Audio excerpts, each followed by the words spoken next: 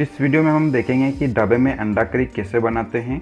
तो आइए देखते हैं कि डबे में अंडा करी कैसे बनती है। तो यहाँ पर मैंने कढ़ाई ली है। कढ़ाई के अंदर दो टेबल स्पून कुकिंग ऑयल को ऐड कर दिया है।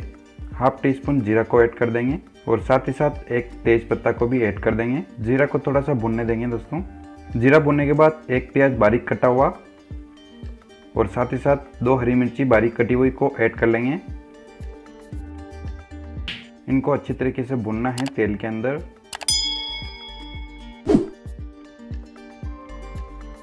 यहाँ पर जो है प्याज और हरी मिर्ची अच्छी तरीके से भून चुकी है। एक टेबल स्पून अदरक लहसुन के पेस्ट को ऐड कर दिया है। अदरक लहसुन के पेस्ट को हमें दो से तीन मिनट तक पकाएँगे अच्छे तरीके से। अदरक लहसुन के पेस्ट को पकने के बाद आधा टमाटर बारीक कटा हुआ को ऐड कर लेंगे। टमाटर को भुनेंगे अदरक लहसुन के पेस्ट के साथ। ताकि टमाटर थोड़ा सा गल जाए। इसके बाद हमें सूखे मसाले को ऐड करना है। तो सूखे मसाले में हमने एक टीस्पून लाल मिर्च पाउडर को ऐड कर लिया है। हाफ़ टी स्पून से भी कम हल्दी पाउडर को ऐड कर दिया है।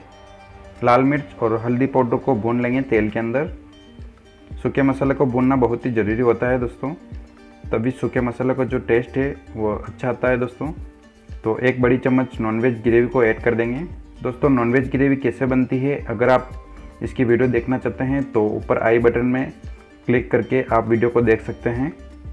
नॉनवेज ग्रेवी से दोस्तों, अंडा करी में काफ़ी अच्छा टेस्ट आता है दोस्तों। और डब्बे में अक्सर ऐसे ही अंडा करी को बनाई जाती है दोस्तों। एक टीस्पून धनिया पाउडर को ऐड कर लेंगे। इसके बाद एक टीस्पून कश्मीरी लाल मिर्च पाउडर को ऐड कर देंगे। कश्मीरी लाल मिर्च पाउडर से दोस्तों टेस्ट भी काफ़ी अच्छा आता है। और हमारी जो अंडा करी के अंदर जो कलर है वो काफ़ी अच्छा आएगा दोस्तों। दिखने में काफ़ी अच्छी दिखेगी दोस्तों। अब हमें दो से पाँच मिनट तक इस ग्रेवी को अच्छी तरीके से पकाना है मसाले के साथ। यहाँ पर दो उबले हुए अंडे को छील लिया है हमने और एक के दो भाग कर लिए हैं। इनको अब ग्रेवी के अंदर मिला लेना है। थोड़ा सा भुनने देंगे ग्रेवी के अंदर अंडे को, ताकि जो ग्रेवी का जो फ्लेवर है वो अंडे के अंदर आसानी से चला जाए। इसके बाद एक से दो कप पानी को ऐड कर लेंगे।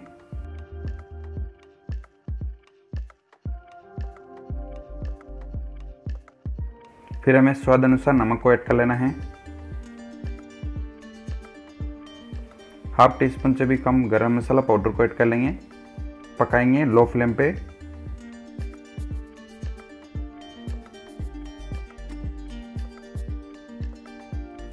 और अंडा करी मसाला बनकर तैयार हो गया है। तो अब ऊपर से हरा धनिया पत्ती को ऐड कर देंगे।